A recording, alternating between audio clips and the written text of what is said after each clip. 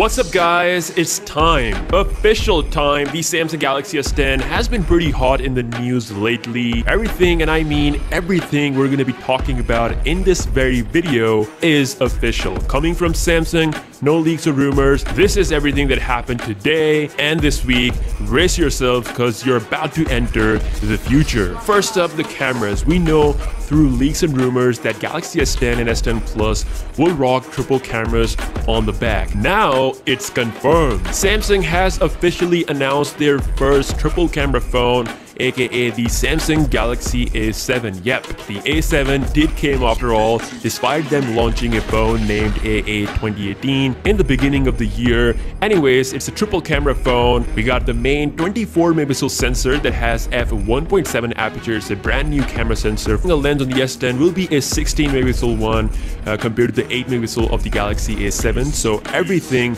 will be on a next level. Now this Galaxy A7 phone is a mid-range phone. It's going to cost cost around $400 in Europe and it's coming to India really really soon so hopefully I'll be able to get my hands on this soon and do all kinds of videos but yeah the triple cameras are confirmed to happen with the S10 and S10 Plus. Next up is the confirmation of the four Galaxy S10 models. We know from the start that Samsung is working on three Galaxy S10 3 Samsung Galaxy S10 is expected to come with a 5.8 inch edge display and a dual rear cameras. Now we have heard that this model will also going to have triple camera sensors, but as posted on the XDA, it could actually have dual cameras because Samsung wants to make the S10 Plus to stand out more compared to the other models. The Beyond2 S10 Plus will rock the largest Samsung flagship display, coming at 6.44 inch display size and triple rear cameras on the back and also double front facing camera on the front, which is crazy. So five cameras will be there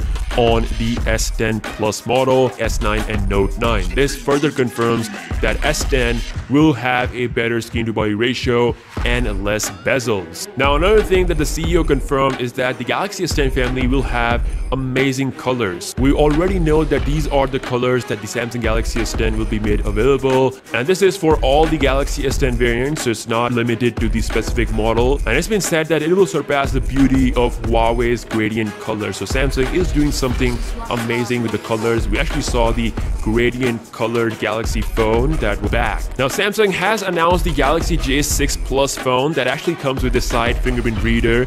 For the first time on a Samsung phone, we have a side fingerprint reader. So it is expected that this Beyond Zero Galaxy S10 Lite model could also have the side display fingerprint scanner. And of course it can have the single rear camera or dual. We're not exactly sure about that but it's going to be the cheaper S10 model. It will most likely compete with the iPhone 10R the Beyond One phone with the in-display camera. We don't know the specific what he actually meant by massive but what we can definitely say is that the bezels will be cut down significantly compared to the S9 family. So thanks to the CEO himself, it is confirmed that the Galaxy S10 will going to have a massive design change. Samsung has already shown the sound emitting display that we'll probably see on the S10 that has this sound firm that Galaxy S10 is coming in three flavors with one ultra premium 5G model. So total of four Galaxy S10 models are coming.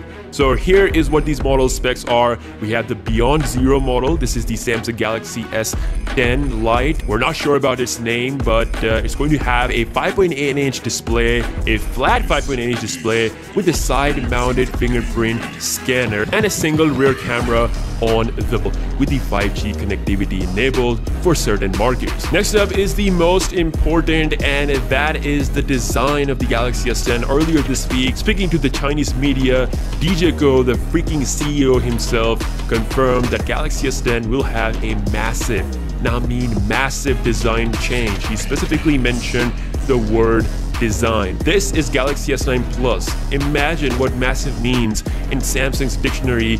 It could actually be a full bezel-less, uh, but Samsung will do it without a notch. So that is a big win. A lot of people want to see a notchless display with no chin. Now this huge design change is further confirmed by a benchmark leak that shows a 19 by 9 aspect ratio screen. The code name SM405F, which is actually a fake name that Samsung used to hide the real model number. They do that in the past, so this device actually has a infinity display with a 19 by 9 aspect ratio compared to the 18.5 by 9 on the current Galaxy S8 technology built into the display. That will get rid of the need for an earpiece and that leaves the front camera, which they could implement inside the display we're not sure if they are able to do it right now. This image was actually floating around Weibo and it's actually a Galaxy S8 Photoshop image, but something like this can happen. We can't say for sure what that massive change is.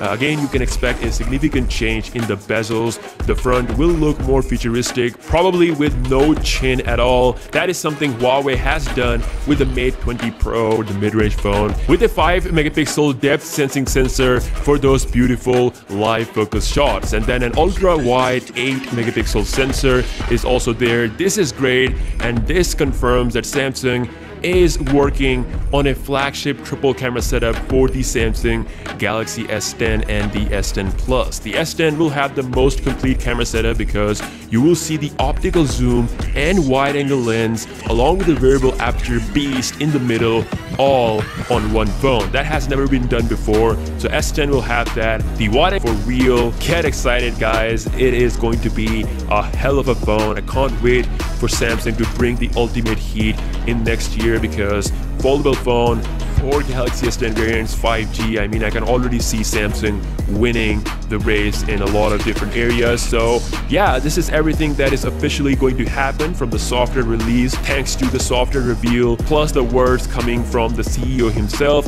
We can definitely say that it is official and I am excited. Let me know your thoughts about this in the comment section below.